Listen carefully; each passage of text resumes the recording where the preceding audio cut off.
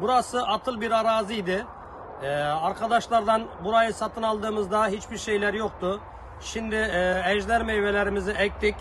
Şu anda Rabbimin verdiğine şükürler olsun. Fazlasıyla hasatımızı alıyoruz. İçi kırmızı olan e, çok tatlı bir meyvelerden bir tanesi. Her sene Anamur'a gittiğimiz için normalde e, Antalya ve Anamur'a gittiğim için oradan esinlenerek bu meyveyi orada tattığımız için e, biz de dedik ki burayı ne yapalım atıl bir arazimizi e, burayı canlandıralım ejder meyvesi ekelim dedik. Ejder meyvesi ekince herkes dedi ki ne ya dedi burada olur mu vesaire. Yani olmaz şu kelimeleri kullandılar. Abi ne yapacaksın? Burada olmayacak meyvelerden bir tanesi. Ben de dedim ki ne bunu deneyeceğim. Tropikal meyvelerden.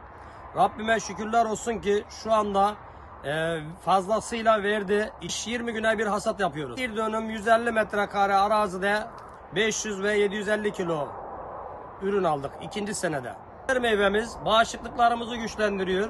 E, kansızlığa iyi geliyor. Şeker hastalarının kan şekerini düzenliyor. Bütün e, hastalıklara iyi gelen meyvelerden bir tanesidir. Fiyatlar şu anda 150 ile 200 arası veriyoruz. Hiçbir zamanda şükürler olsun hormon vermediğimden gelip ayağımızda alıyor. Müşterilerimiz ayağımızda geliyor alıyor.